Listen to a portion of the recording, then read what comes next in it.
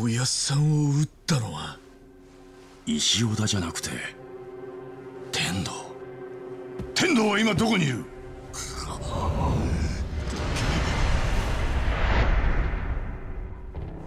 やっぱりしくじりよったか。一生だは仕事が雑やさがいなま見張っといて正解やったな。どうしますか？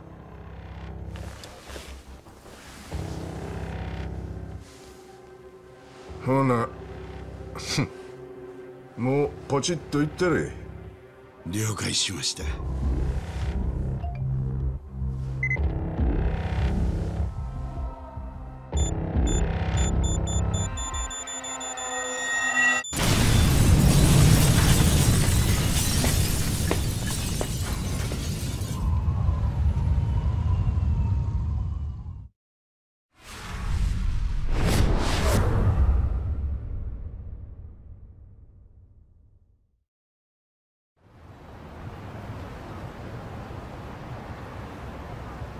人町の皆さんこんにちは。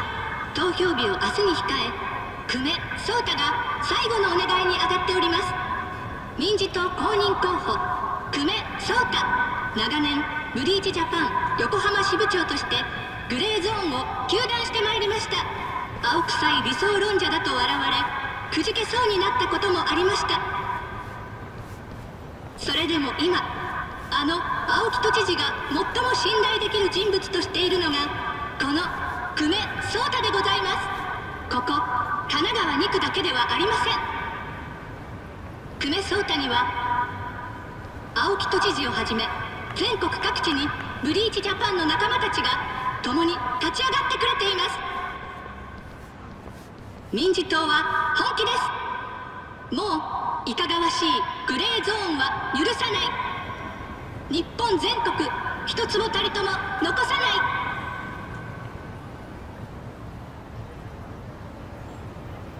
久米颯太が青木亮と共に起こす新しい波はこの日本を生まれ変わらせます。皆さんの清き一票を勇気に変えてブリーチジャパン。日本をきれいにしましょう。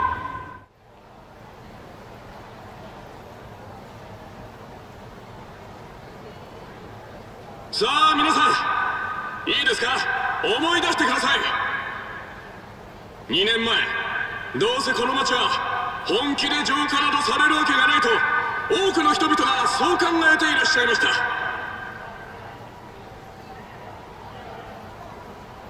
この新カムロ署だってどうせお飾りになってしまうだろうとみんなが思っていました。しかし今はどうでしょう？登場会という昔ながらの暴力団はもう一人として残っていません。カムロ町は徹底的に正義を成し遂げた町として生まれ変わったじゃありませんか。それは日本中どこででもやれるはずなんです。ブリーチジャパンを合言葉に民事党は青木幹事長のもとで生まれ変わろうとしているんです。この後知事には車の上に出られて3分間応援演説をしていただきます。それから新宿を出てまた移動になりますが知事にはあん？どうしたの？すみません。知事ではなく幹事長とお呼びした方がよろしいですよね。そうか。呼び方を気にさせてしまったか。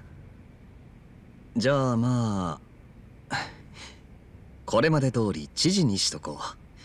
短くて呼びやすいしね。気遣いさせてしまってごめんよ。そんなとんでもありません。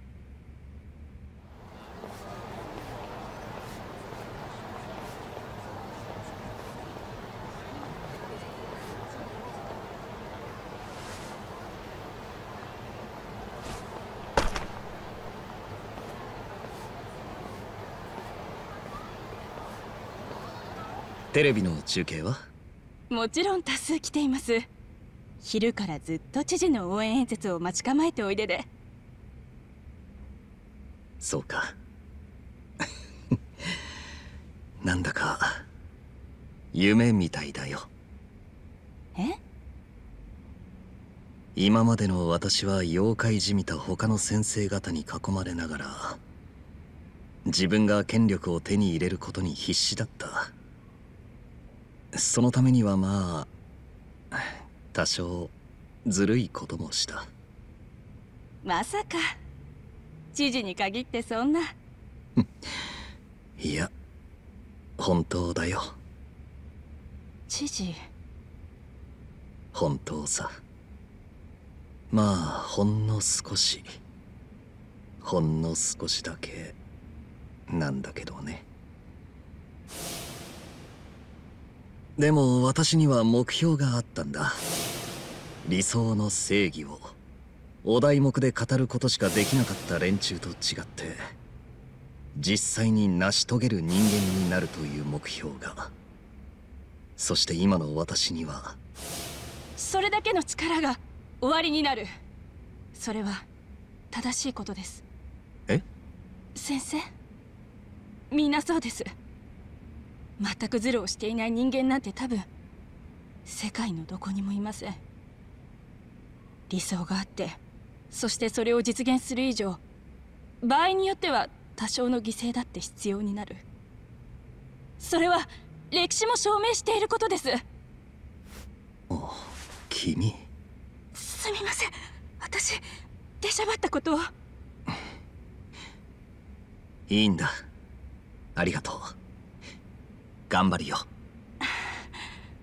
さそろそろ演説の時間だ。知事が目指す正義のお話を国民にしてあげてください。ああそうしよう。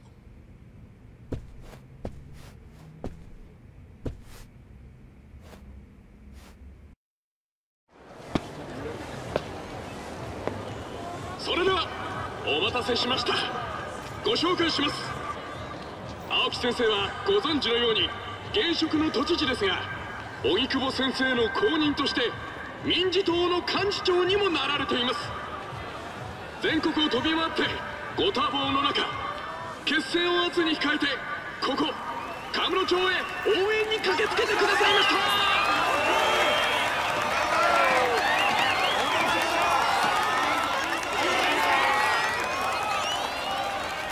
皆さんただいまご紹介に預かりました青木亮です。ありがとうございます。ありがとうございます。皆様からの熱いご支援の声深く感謝申し上げます。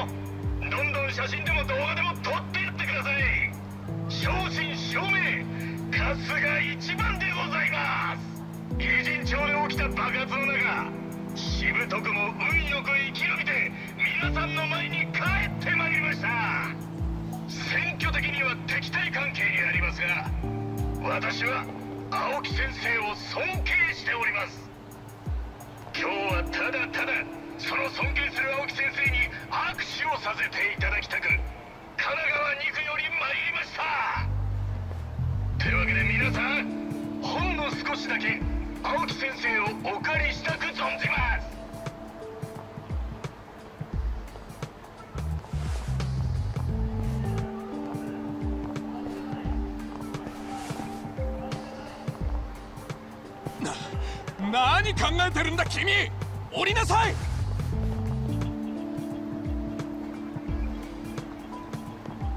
いいだろう。大丈夫だ。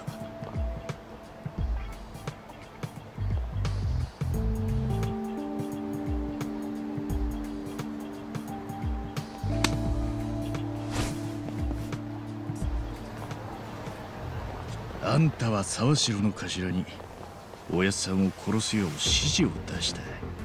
おとぼけはなしですよ。頭本人からそう聞いたんです。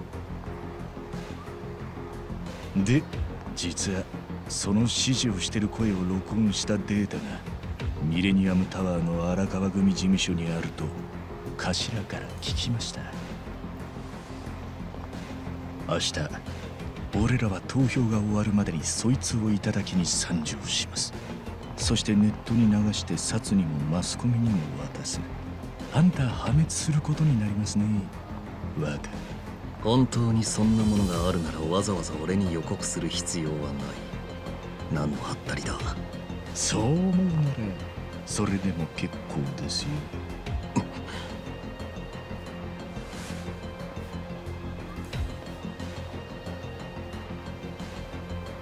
おやっさんは最後まで若のことをずっと気にかけてました沢城の頭も同じです。でもそれがあだになりお前は大きな思い違いをするようになった。てめえだけは何やっても許される存在だってな。でもそりゃ大きな間違いだ。や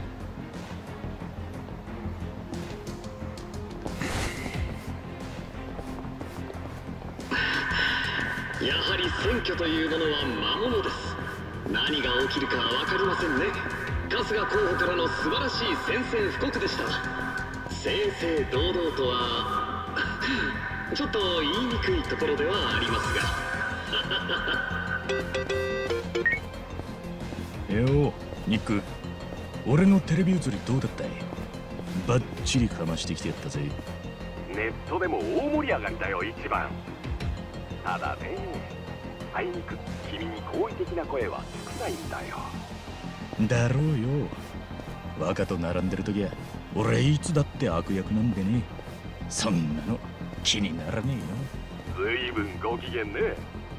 え。よなあ青木亮の反応は上々だったからな。計画通りだ。うん。オーケーオーケー。こっちはさっき場所を変えたよ。君らもカムロ町にアジトが必要だろ。チャンピオン街のスナックアテンシって店だそこのママとはちょっといい仲なんだよね。アテンシか分かった。じゃあ俺らもそっちに向かう。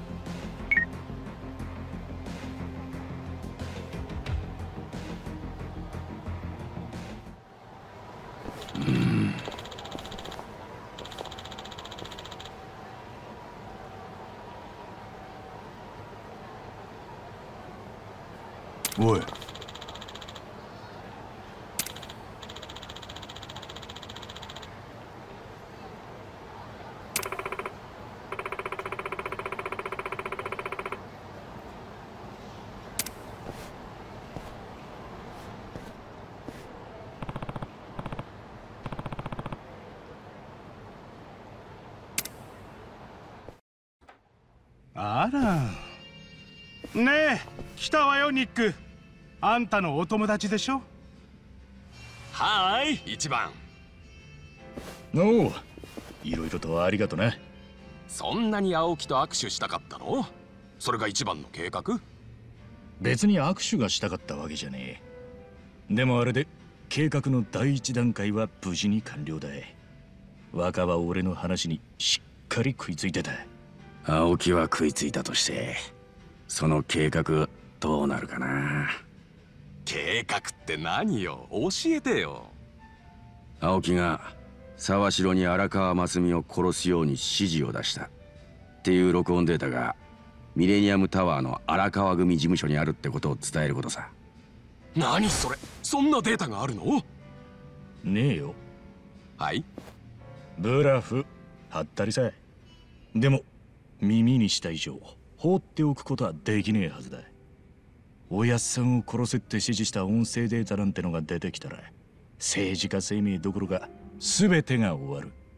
若は頭の部屋を徹底的に家探ししなきゃならねえ立場になった。敵は沢城の部屋どころか荒川組の事務所中の全てをひっくり返して探すでしょうね。おまけに俺らは明日の投票が終わるまでにその音声データを頂きに参上すると若に伝えたい。つまり青木はそうなる前に何としてもデータを探し出す必要がある。とてつもない大人数が必要になる。荒川組が入ってるミレニアムタワーには近江連合の連中が大量に送られるはずだ。でどうなるの？今夜一晩中探したって証拠の音声データは当然出てこねえ。でも出てこねえじゃ済ませねえ。そうなった時は間違いなくあの野郎も出張ってくるはずだ。天道ね。ああおやっさんを殺した。あの天道がな。おまけにあいつは私たちを爆弾で吹き飛ばそうとしたもんね。足立さんが異変に気づかなかったら全員危なかったよね。春日ここはやべえ。ね？全員ここ出るんだ確かに。天道にはけじめを取らせなきゃなんねえってことだ。でも青木のことはどうするんだ？青木亮の前にまずは天道からだ。奴には山ほど借りを返さなきゃなんねえ。本当に計画通りに現れるかな？今のあいつは東京近江連合のトップだ。データを探し出すために陣頭指揮を取る立場だろう。明日ミレニアムタワーに必ず現れるさまあ計画としては筋は通ってる。春日の考えに乗るしかないようだな。まさか春日君がそんな策略めいたこと考えるなんてな。なんだか寂しいじゃんよ。本当にね。ただし青木や天道はおとなしく明日を待ってくれるわけがない。まずユウたちを消しにかかってくるだろうね。この先ユウたちにとってカムロ町は完全なるアウェイ。一歩外に出れば遊び相手には事欠かない状況ってことだよ。そいつはいいね。長いことじっと隠れてるだけだった。ちょうどウォーミングアップしてえと思ってたとこだぜ。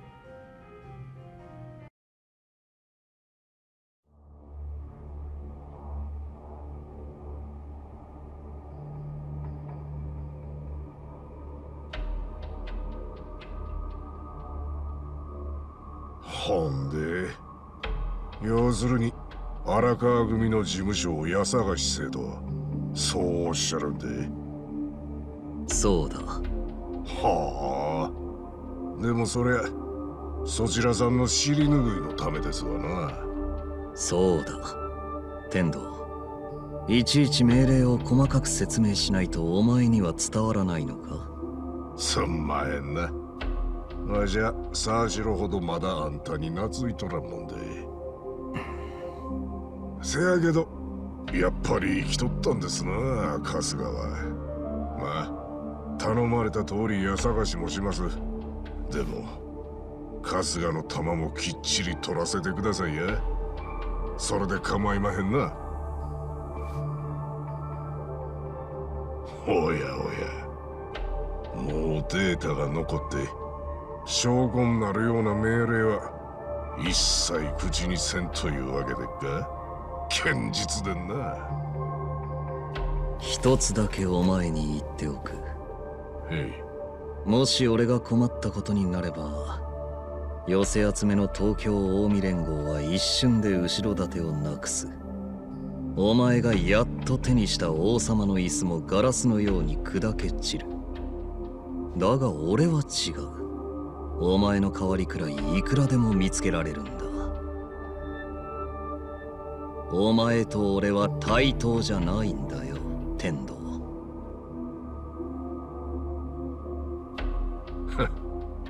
うん。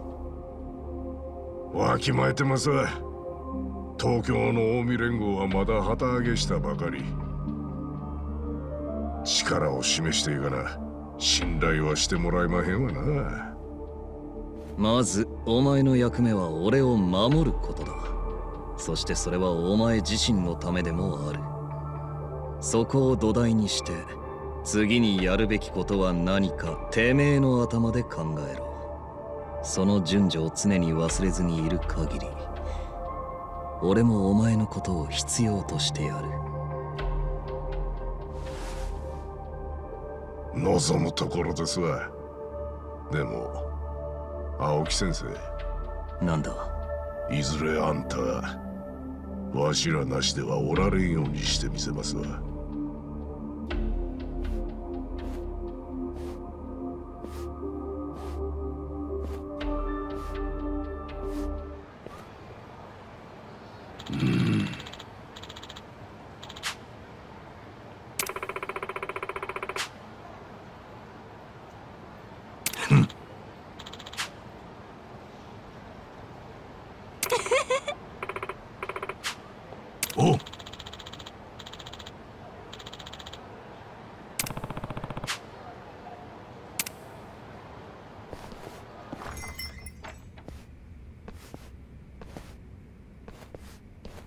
ちゃんちょっと峰打ちに老けたな。お互い様ですよ足立さん。お久しぶりです。この人は俺の数少ない信頼できる刑人仲間伊達誠だ。お前が春日一番か。噂通りだな昔のあいつと同じような目をしてやがる。あいつ？俺の大切なダチのことさ。んなことよりお前ら狙われてるんだろ。ここなら安全だ。今日はもう遅いし休んでいけ。いいんですか？他ならぬ足立先輩の頼みだ。それに詳しくは知らねえが明日は大事な戦いがあるんだろ。遠慮なく使えありがとうございます。じゃあな。サンキューまこっちゃん。すまねえな。巻き込んじまって。なーに。こういう役回りには慣れてるんで。頑張れよ。春日一番。よし。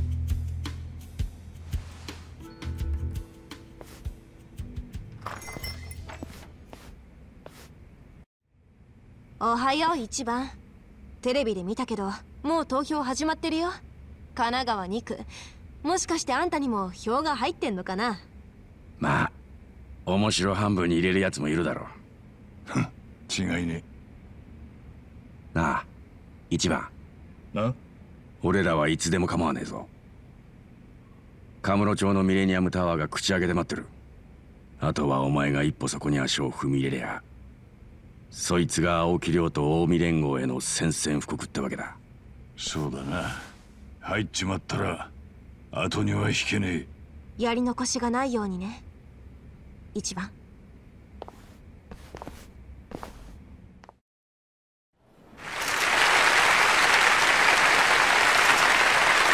神奈川1区天野健一。当選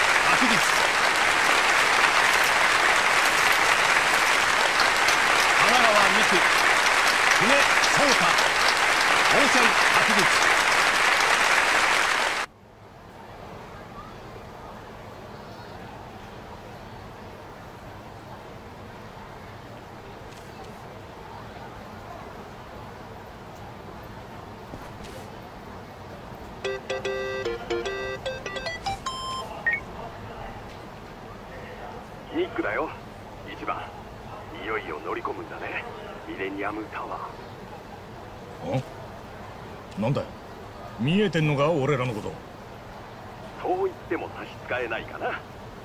部下からユウたちのムービーが送られてきてるんだよ。はあ。それで？2時間前に天道もタワーに入ってったそうだ。間違いなく彼はいるよ。一番の予想通り。マジか。よし。ありがとよ。ただしそこは魔王の城だよ一番そして天道は最上階だ。優たちの計画がうまくいくことを陰ながら祈ってる。オーケーサンキュー。ニック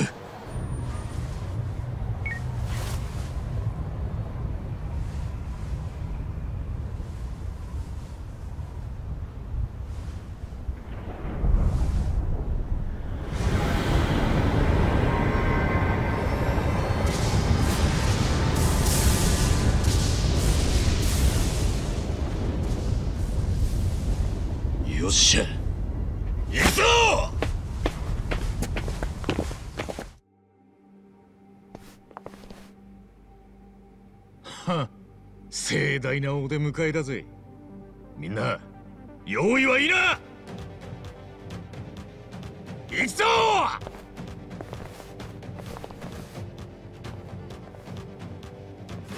してみろ。来いよ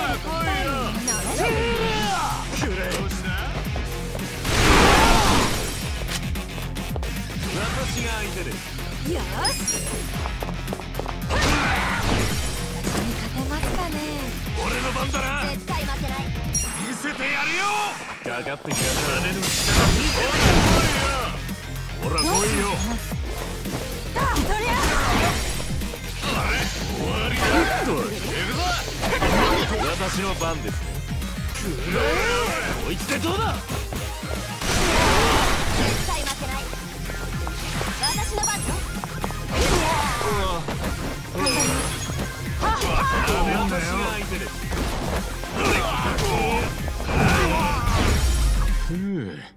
全部倒せたようだな。こんな調子で上まで続くのかしら？いやさすがにそこまでじゃないだろう。だが俺たちが来ることは想定済みらしい。まあこの先どんな罠が待っているかわからねえ。みんな気を引き締めていこうぜ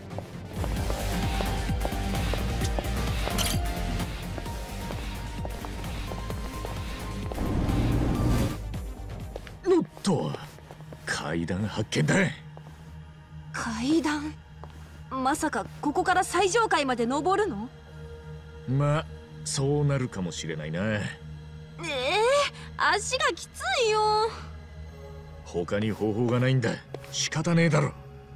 張り切って登っていこうぜ。うえー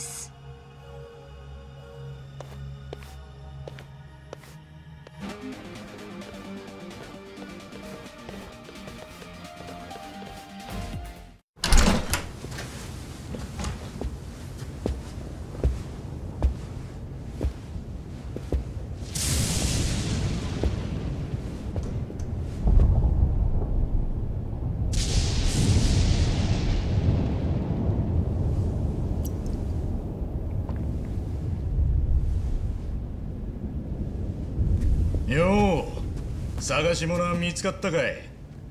天道。荒川真澄殺害を命じる青木亮の声。そないなもんあったところで何の証拠にもならんでそれでもあの人にとっちゃあっちゃならねえもんだだからあんたまで借り出されたんだろ？ご苦労なこった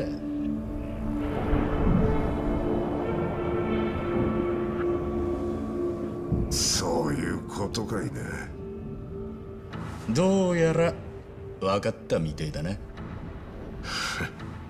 花からなかったんやなそのデータは。沢城の頭は若を相手にそんな真似はしねえ人だ。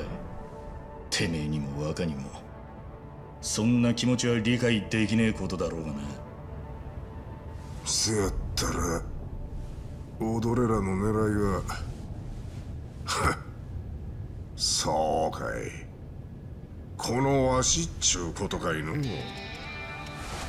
このわしをここへ引きずり出したかったっちゅうわけ。や蒼天堀じゃ本気であんたを味方だと見誤っちまった。あの荒川のおやっさんでさえな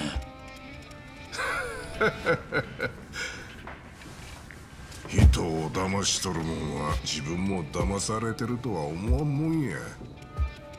けど荒川真澄がまがいもんやったおかげでわしにももういっぺんてっぺん取るチャンスが回ってきたんや。ボクシングじゃかなわんかった。てっぺん取るチャンスがな。感謝しとるんやで。天道てめえ。せやさかいあの日胸に穴開けたあの人が息を引き取るまでわしゃその目をじっと覗き込んで見届けてやったんや。荒川がこの世の最後に見てたのはこのわしのとびっきりキュートな笑顔や。それはわしからの感謝の気持ちのプレゼントやったんやで。ふざけんな。クソ野郎！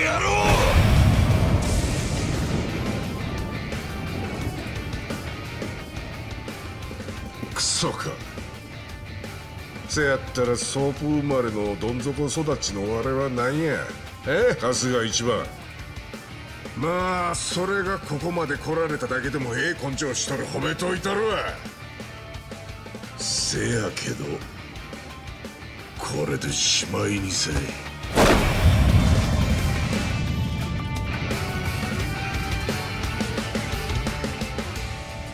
最後にてっぺんとんのはこのわしやで。踊れの成り上がり話はここまでや!こいつを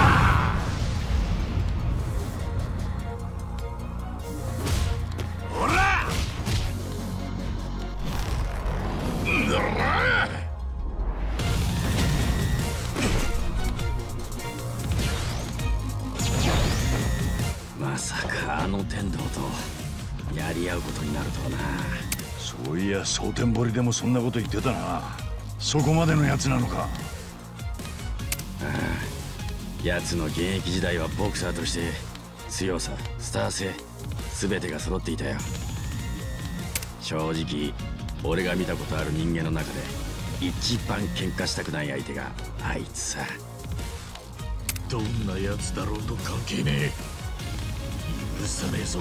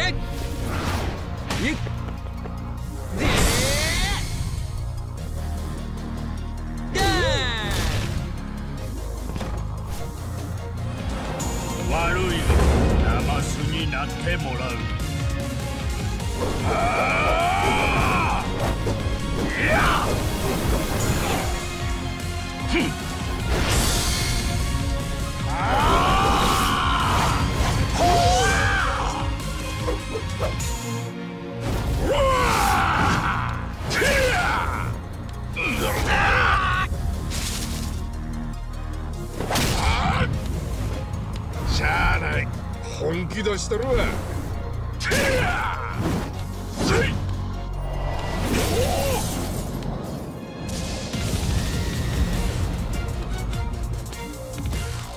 ここに来てメリケンサックかよ。まさしく鬼に金棒ってとこだな。あんな硬い外壁ガラスが粉々よ。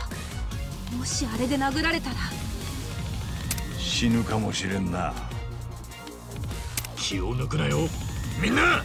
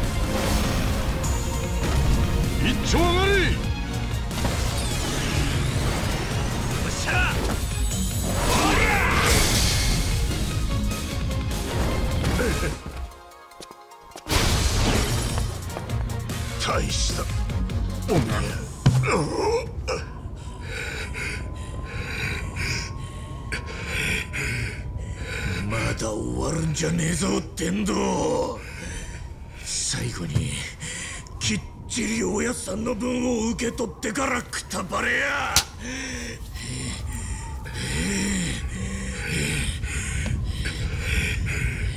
かすが。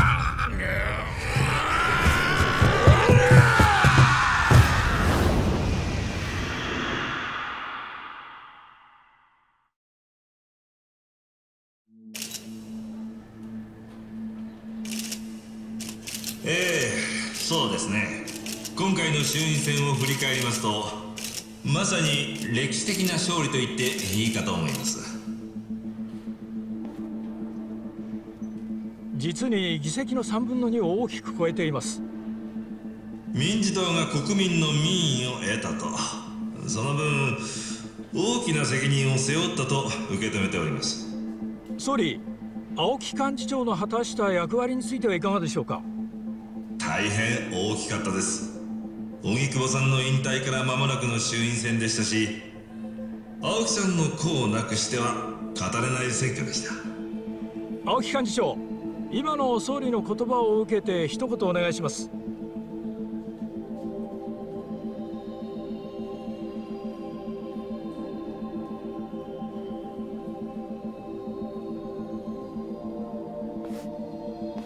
今回の選挙で民事党は大きく変わりますこの国を良くしたいという我々の思いは中身を伴ったものとして国民の皆さんに実感できるようお届けします。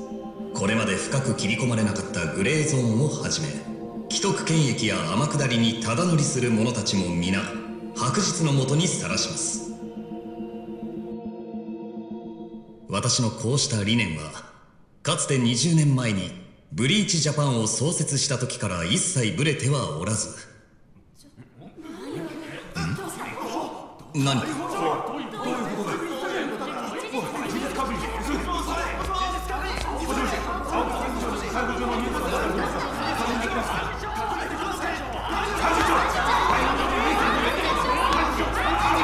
幹事長あの速報はどういうことでしょうか？殺人で逮捕状とありますが。あいえ。どどういうことだか。で手違い。そう何かの手違いです。記者の皆さん落ち着いてください。何かの手違いが起きたようで。青木幹事長青木亮という名は本当の名前じゃありませんよね。そうですよね幹事長。あなたの本名は荒川雅人。先日横浜で殺された暴力団組長荒川真澄はあなたのお父上ではありませんか？すいません決まりますご退場を幹事長待ってください幹事長説明してください荒川雅人って名前に聞き覚えありますよね青木亮は偽名ですよね幹事長だから天道とは電話が繋がらないんだ。もう何度もかけてる。荒川組の事務所も誰も出ない。でそっちはどうなってるんです総監。私に逮捕状って一体？確認中です。そのニュース速報というのも確認が取れていません。テロップは民主党本部のモニター画面にしか出ていなかった可能性があると聞いています仮にそうだったとしてもそれをテレビ中継してたんだから同じことでしょ。多くの国民があのテロップを目にしたんだ。誰が何の目的であれを流したのか早急に説明をつけなくちゃならないんですとにかく今は軽率に動かないこと。ですミレニアムタワーへ行くのも避けるべきかと。そうはいかない。一番が。春日一番が。もし荒川組で証拠を抑えていたら後始末が厄介でね。その時はそっちにも色々骨を折ってもらうことになります。後で動かなかったことを後悔しても遅いんだ。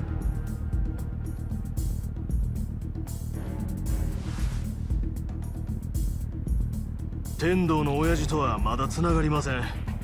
今連絡のついた若い衆はミレニアムタワーへ向かわせてます。いいだろう。俺のそばで護衛につくのを何人かに絞れ。ええわかりました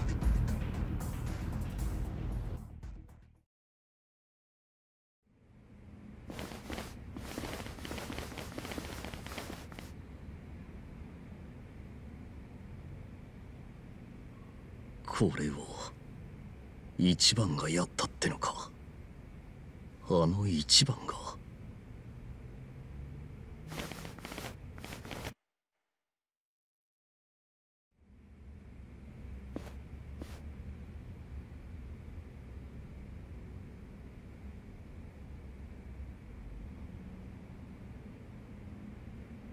天道？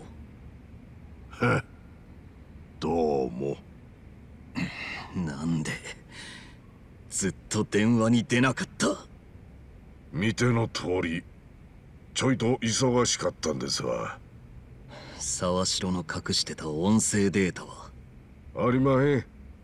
そいつのブラフやったんです。ブブラフ？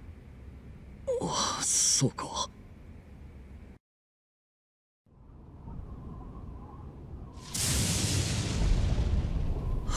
りだったのか？そうか。そうだったか。ふん。で一件落着でっか？いやまだだ。こいつらにはまだ他に仲間がいるはずだ。開票に合わせてニュース速報のテロップを流させた奴がいる。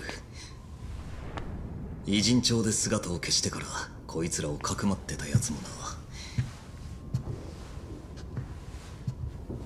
でももうこんな肝を冷やすような思いはたくさんだ。でどうせと？全員見つけ出して殺せ。出た死体は埋めるなり溶かすなり始末しろ。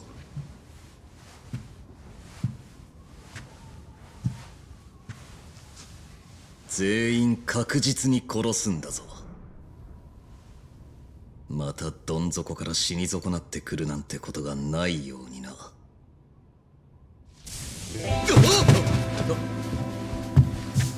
どうだい？俺の演技力は？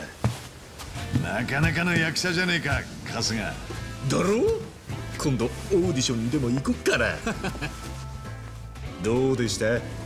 俺の芝居は。一番？お前？ななんで？若まだ続きがあるんです。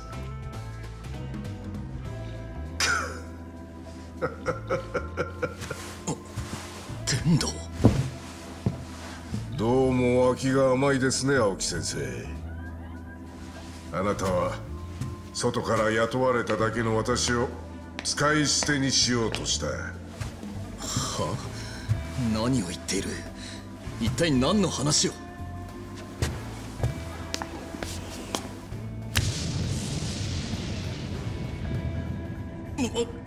天道が？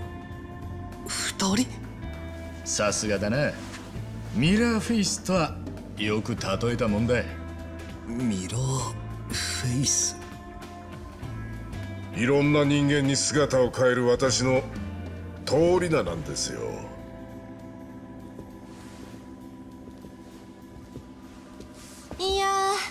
かかしこれってスクープだよね。青木亮春日一番とその仲間を殺害するようヤクザたちに命令。大スクープだわ。素晴らしい映像が撮れましたね。早速ネットに流出させてしまいましょうか。よせやめろ！バカ。もうここまでですよ。潮時です。一番てめえがこの絵を全部描いたのか。若にブラフの音声データの存在を伝えたのは天道を呼び寄せるためでした。でも若あんたもきっとここへ来ると俺はそう信じてました。あんたも俺をよく知ってるように俺もあんたという人間をよく知ってますから。ふざけやがって。若あんたを止めるにはもうこうするほかなかったんです。あんたもう自分自身でも止まり方わかんなくなっちまってんでしょ何？知事になって昔自分をバカにした連中を見返して権力者になった。でもそれで何が手に入ったんです？今のあんたには大事な人間もいねえ。あんたのことを大事に思ってくれる人間もいねえ。持て余した権力に目がくらんでてめえが何をなくしたのかも分かってねえ。ならその先は手にした権力守るために邪魔なもん全部消し続けるだけの人生だ。そんなもん望むほどあんたバカじゃなかったろ。知ったような口を聞くな。でもそれが事実だろう。事実だとしても俺は前に進むだけだ。誰も俺を止められやしない。いや俺が止める。絶対に。やれ！こいつら全員ここで始末しろ！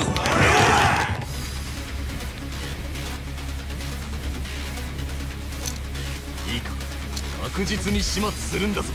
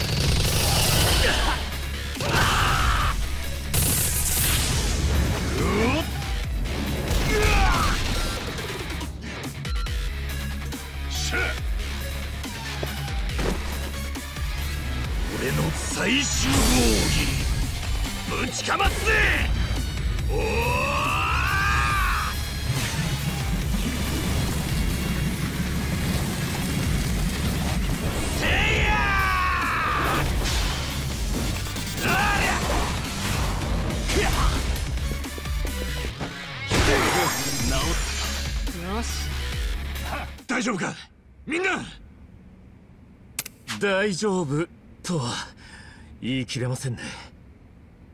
くそ。もう少し若けりゃもっと動けたのにな。言うここと聞かないわ。さすがにきついね。みんなしっかりしろ。そうだ。手当てを。俺らのことはいいそれより一番早く青木を追え。今青木の野郎は一人だ。あいつをぶん殴る。絶好のチャンスだぜ。私たちのことはいいから。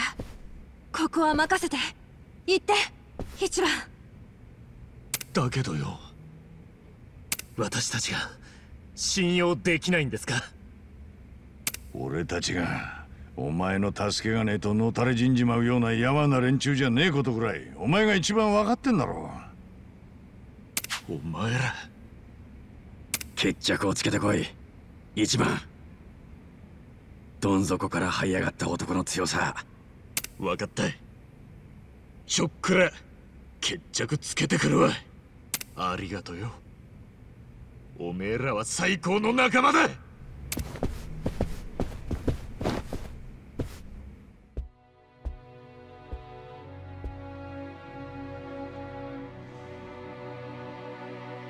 俺と差しなら丸腰でも勝てるって。調子に乗るな！ちそう来なくちゃ。そのムカつくにやけ面うっつぶして二度と笑えねえようにしてやるよ。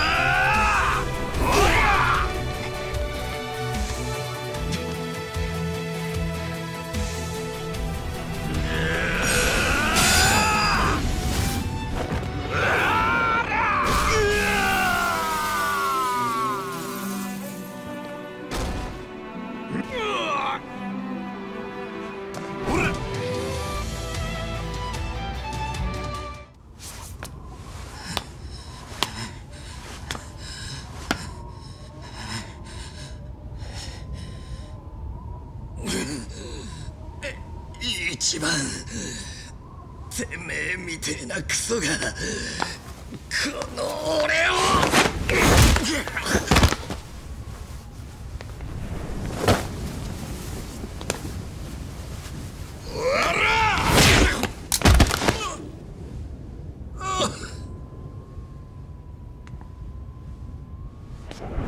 終わりです若や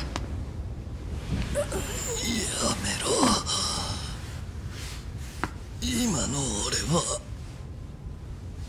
この国で正義を全うできる本当だ俺は力を持って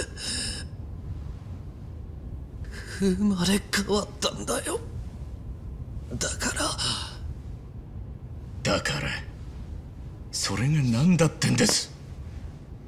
だから俺はこの日本をきれいにしてみせる。それを俺はできるんだ。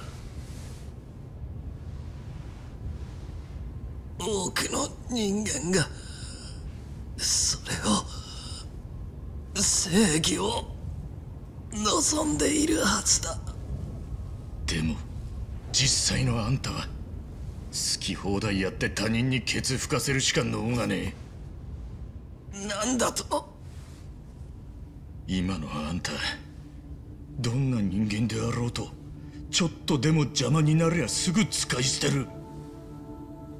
この先もあんたの言う正義ってやつでおやっさん殺したみてえに何人でも平気で殺すつもりだろう。ほっときゃ沢城の頭だって殺されてたはずだい。ずっとあんたに尽くしてきたあの人まで。人間にはな二つの種類がある。使う側と使われる側。つまり替えの利かない人間といくらでも替えがいる人間だ。なんだと？あいつらは所詮使われる側の人間だ。俺とは違う。だったら使われる側は犠牲になんのも仕方ねえってことかよ。多少は分かってきたか。ふざけんじゃねえ！てめえと俺は同じ日に生まれた光と影みてえなもんだ。もちろんてめえが光だぜ。昔からてめえは俺にねえもん全部持ってた。本当に初めから全部持ってたのに。なんであんたそんな人間に。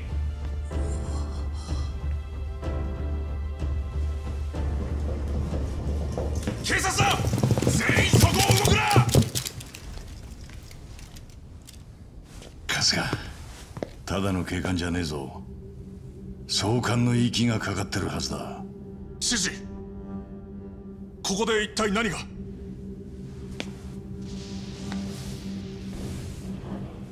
あんたは一からやり直すべきだ。いややり直さなきゃならね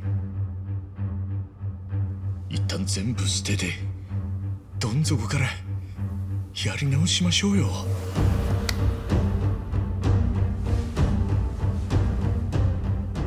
若ならどん底からまた這い上がれますって。そのためなら俺も昔みてえにずっといつまでもそばにいます。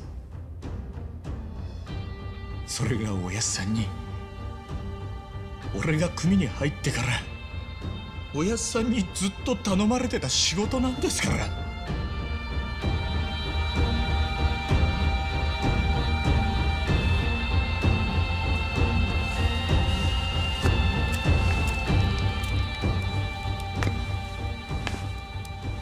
俺たちを殺すために偉人帳で爆弾使ったのは天道だ。その命令はこの青木亮から出された。そして死に損なった俺らを見た青木亮の反応が。それだこいつらにはまだ他に仲間がいるはずだ。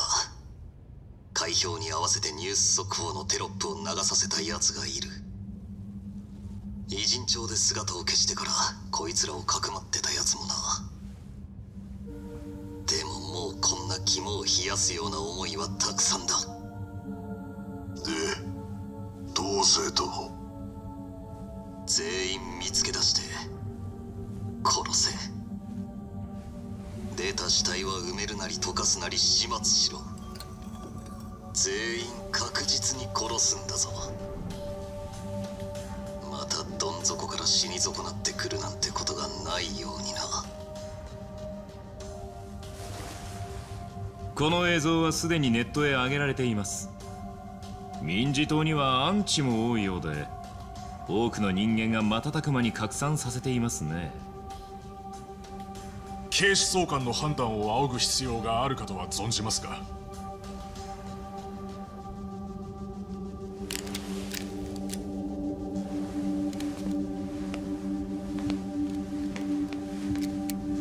まりいい状況ではありませんね知事ひとまずここは出ましょう。署までご同行いただけますか？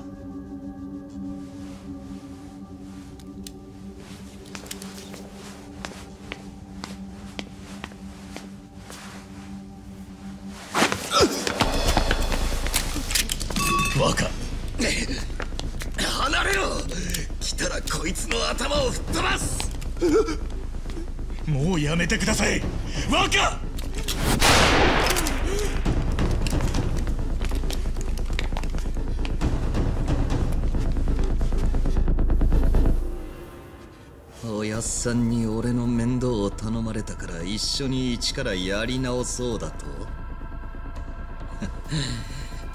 親父がどうの杯がどうの。俺は昔からヤクザのその家族ごっこが大嫌いだった。義理だ絆だと仲間意識を押し付けてくる。鬱陶しくて仕方ねえんだよ！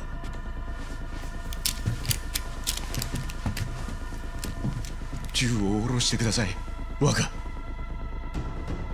警官を人質になんて取ったらいくら若でも殺されちまいます。俺はもう家族が死ぬのは見たくねえんです。家族？笑わせんな。誰がてめえの家族だ？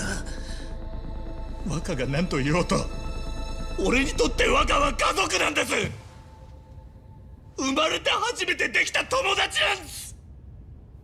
なのに俺はあんたが暴走すんのを止められなかった。そして親さんはもう帰ってこれねえ人になっちまった。でも若はまだ帰れるところがあります。帰ってきてください。お願いですから。そっくりだな。つくづく何から何まであのクソ親父にそっくりなんだよお前は。そういうところが昔から好きになれねえんだよ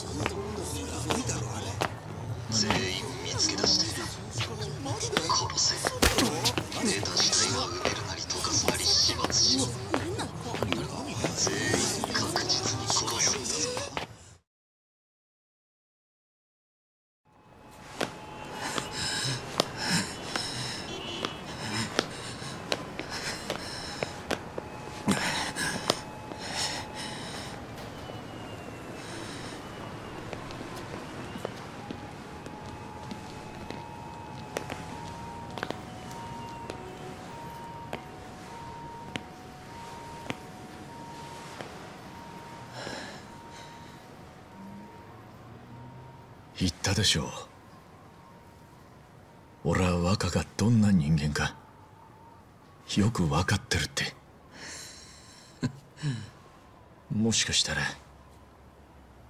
若何もかもリセットしちまいてって。どん底からでもやり直してって思ってくれてるかもしれない。そう考えたらここを目指すんじゃねえかってそんな気がしたんです。分かったような口聞きやがる。ふざけんじゃねえぞ一番！ここにいるのは俺と若だけだ。だから銃なんか必要ありませんよそいつは俺に預けちゃくれませんか？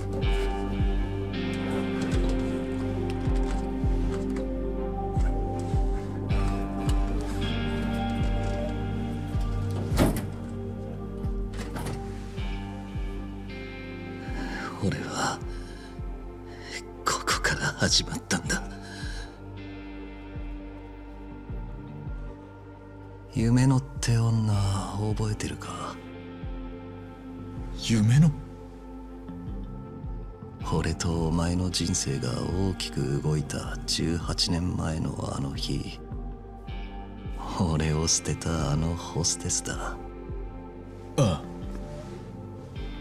堀の内の神さんになってたよ。都知事になる前奴の警視総監就任パーティーに呼ばれてな。そこで知った。当然俺は素性がバレないよう装ったかなそんな俺にあの女なんて言ったと思う？あなたには持って生まれた知性と品性を感じます。だとさ。笑えるだろ。裏で俺のことを下品だの怖いだの。見下してたあいつがそんなこと言うなんてよ。どうだ？傑作だろ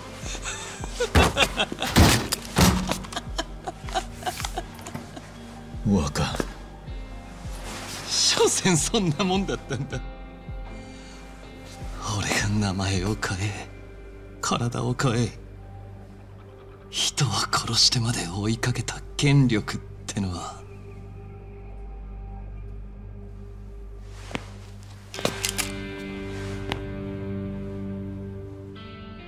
誰も本当の俺のことなんか見てくれちゃいなかった。まあ俺自身弱くて醜い自分が嫌で必死にもがいた結果がそうなったんだろうけどな。そりゃ違いますよ。若おやさん。荒川の親父と沢城の頭だけはずっと本当のあんたのことだけ見てたんですよ。俺もそうです。無所出て最初に青木亮って人間を見た時それが荒川雅人だってすぐ分かりました。間違えるはずがない。大事な人なんですから またお得意の家族愛でも語るのか。ちげえそんなんじゃねえ！あんたがどんなに悪いことしてもなんで最後まで荒川のおやっさんも沢城の頭も俺も放っておけないのか！そりゃな理屈じゃねえ！心の根っこの部分で繋がっちまってるからなんだよ！とか嫌いとかそんな割り切れた感情じゃねえ。誰も本当の俺を見てねえだと。ふざけんなみんな放っておけねえんだよ。放っておいたことなんて一度もねえんだよ。あんたのことよ。おやっさいや沢城の頭の気持ち。いい加減分かれよこのバカ野郎が。一。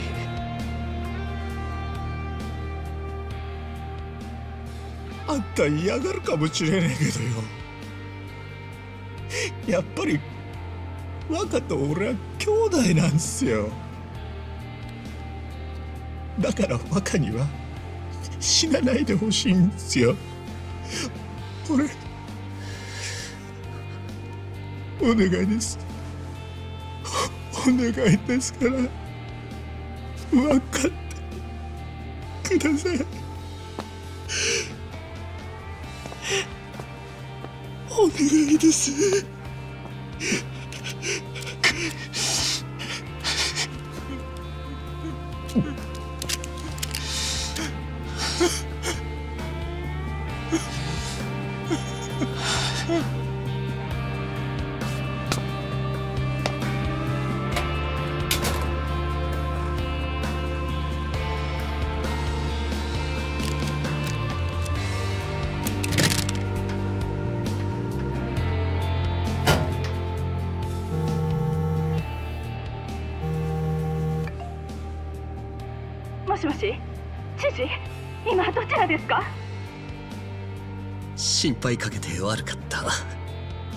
私は今から自首する。後の整理はいやもういい。好きにしてくれ。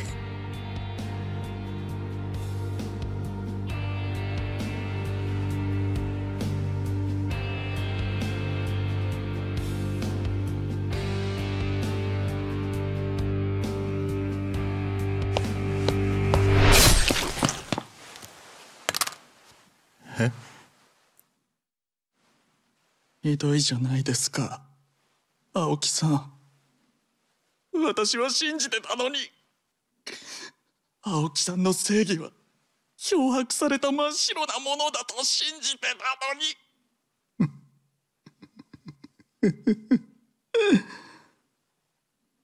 に。でもまだ間に合う。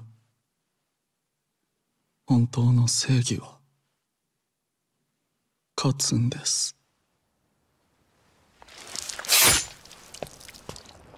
Huh?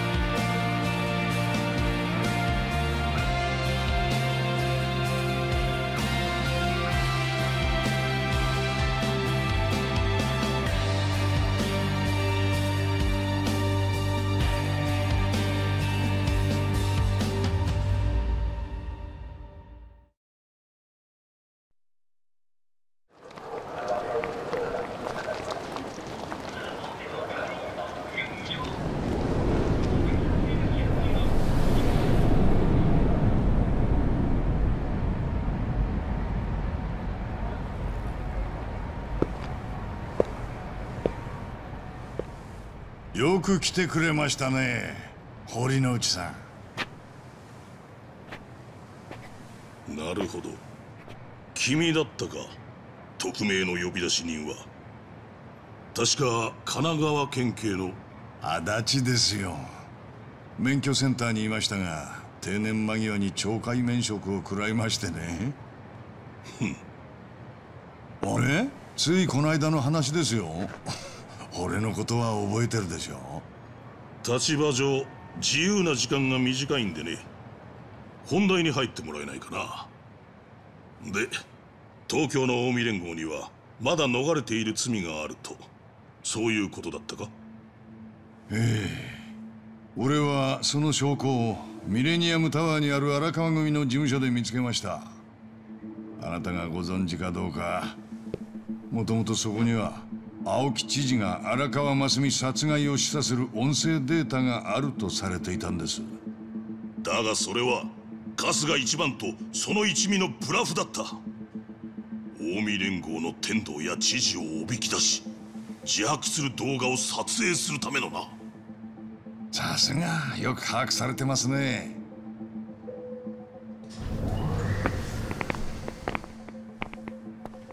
おやこちらの若い衆は堀之内さんの部下で警視総監にとって都内の警官は皆部下だよ。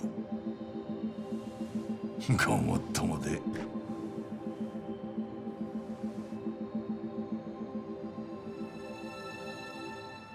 それは？音声データはブラフでしたが荒川組を家探ししていた天道たちは実は別の面白いものを見つけてしまったんですよ。平田君や荒川組に買収された者たちのリストです。何？先日横浜で殺された荒川真澄は2年前の産経作戦から間もなく3億円という大金を方々へ送金していたようです。表には出せない賄賂ですよその金の流れを逐一記録していたリストが組の若頭である沢城のパソコンにデータとして残っていた。それがこの中に入っています。まあこんなもんが急に出てくるとはひょうたんからコマと言うんですかな。おや少し顔色が悪くなってきましたか警視総監。荒川真澄の3億は海外の口座などへ複雑回帰に散らばった後あんたや他の警視庁幹部たちの口座に収まっていた。近江連合がカムロ町で活動するのを目こぼしする見返りとしてね。だが巧妙に隠されたその金の流れもこのリストを読みながらであればはっきり追うことができる。でその裏取りさえできたら現役の警視総監はじめ幹部たちが収賄で逮捕って流れになる寸法です。この男を捕らえて持っているものを全て確かめろ。どうした？さっさとしろ！今さらジタバタしても遅えって。バカだね。もうとっくに警視庁の監察に送っといたよ。その腰が重くならねえようにマスコミ各社にも同じものをちょちょいのちょいとね。はったりだ。それでは君に何のメリットもない。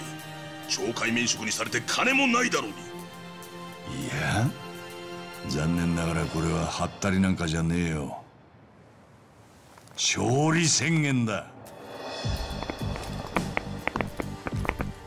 総監警務部監察官よりお話があるとのことです。お前ら。あんたたちが荒川からの金を受け取ったのは全部が全部私利私欲のためじゃない。急に登場会が消えちまったカムロ町の治安を守る必要にも迫られてたはずだ。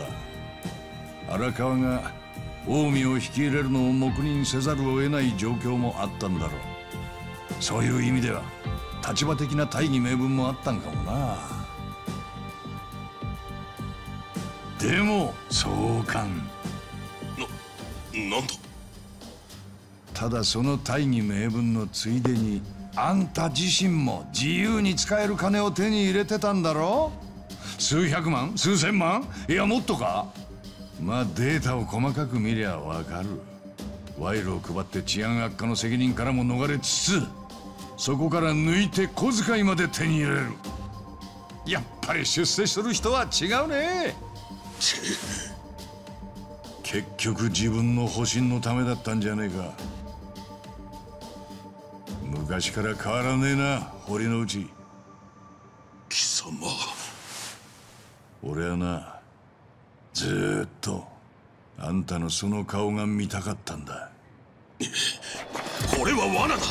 策略だ。誰かの仕業だ。ああ話せ。お前ら何をやっている。総監最後に一つ聞いていいですか？18年前の大晦日の晩無礼なヤクザがカムロ町のクラブで絡んできたのを覚えていますか？何の話だ？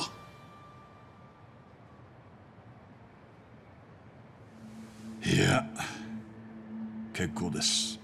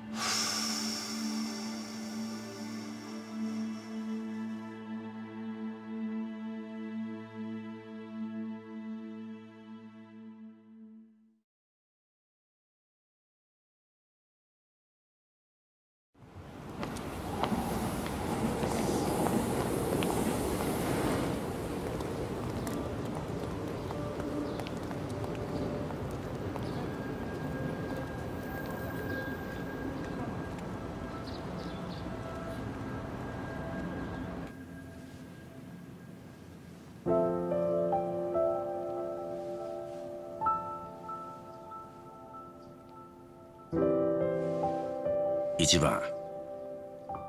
沢城城の刑期が決まったな。終身刑だって。なあ。今おやっさんたちにもその報告してたとこで。荒川雅人は結局親父が沢城と知らされねえまま行っちまったな。荒川真澄も雅人が息子だと思ったままか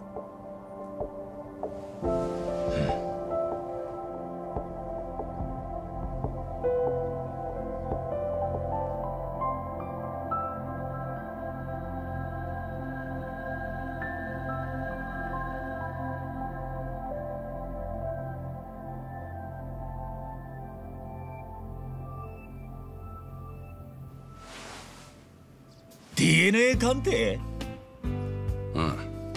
そうよ。荒川との親子関係きっちり DNA で鑑定してもらえよ。十中八九間違いねえんだろ？尊敬するおやっさんこそ俺の唯一の父親。そう言えんのは嬉しいだろうし安心できんだろやだね。俺の親父は二人いんだ桃源郷の店長春日二郎と荒川真澄。死のつながりがどうのと確かめたとこでその二人が親だってことは何も変わりやしねえ。変えたくもねえ。そっか。お前らしいな。いたいたちょっと何やってんの二人とも。もう始まるよ。荒川親子のお別れ会。よし行くぞ。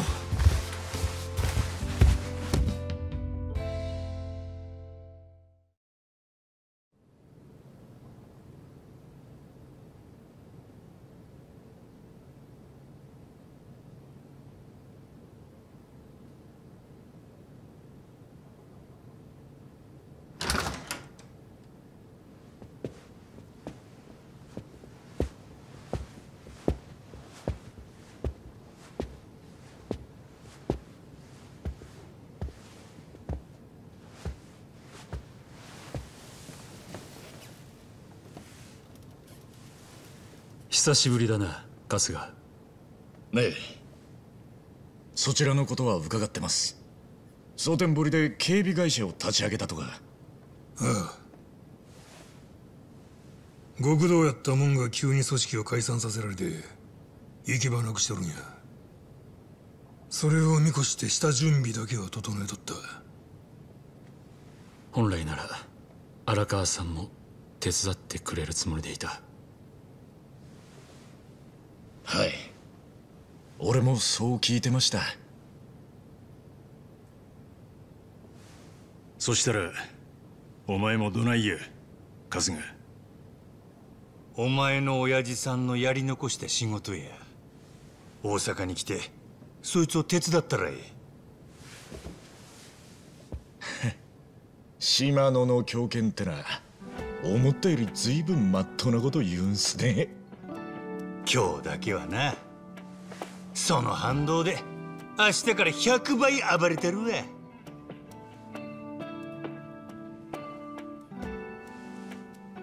せっかくのお誘いですが俺の居場所はこの偉人町です。俺が来てからこっちカムロ町じゃ鳴かず飛ばずだった自分はこの町でかけがえのない仲間を持つことができました。けど俺はまだその恩を一つも返せちゃいません。行き場のねえ人間に何かしらの受け皿が必要なのは偉人帳も蒼天堀と一緒です。だからおやっさんのやり残した仕事はここでもやれるって俺は思ってます。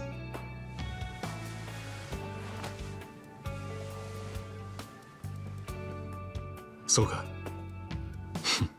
なるほどな。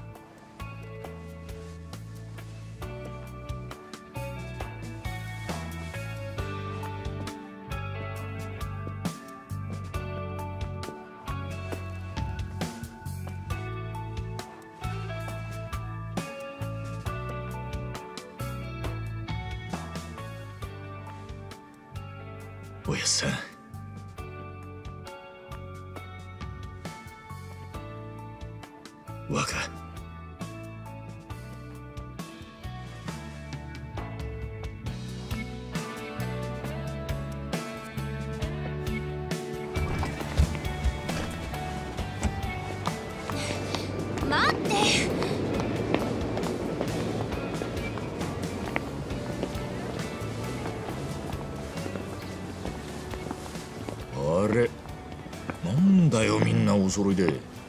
いや難波が心配してたからさ。春日君が元登場会にスカウトされちゃうかも。だがそれは言うなって言ったよな。でどうなったんだいその話は？あんたこの町を出てくのかい？うんさっちゃん代わりに言っといてくれ何度もシラフで言えるかよあんなこと。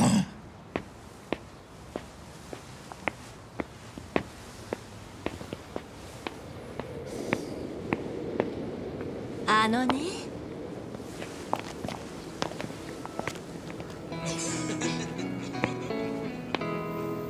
ほうそんなこっぱずかしいこと？を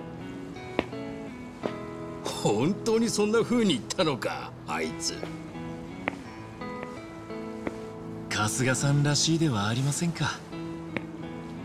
よもしかしてそのかけがえのない仲間たちって俺らのことか？もちろん私も入ってんだろうね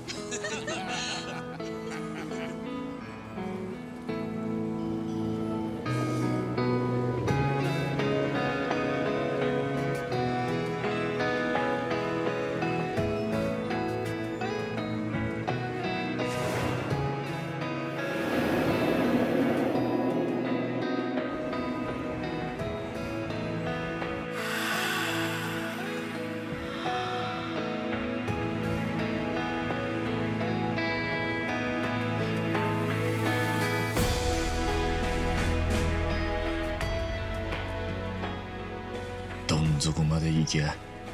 あとは上しか行く道がねえ。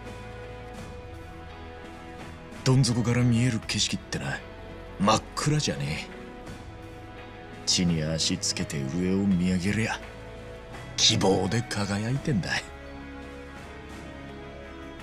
あんたの言う通りですよ。若。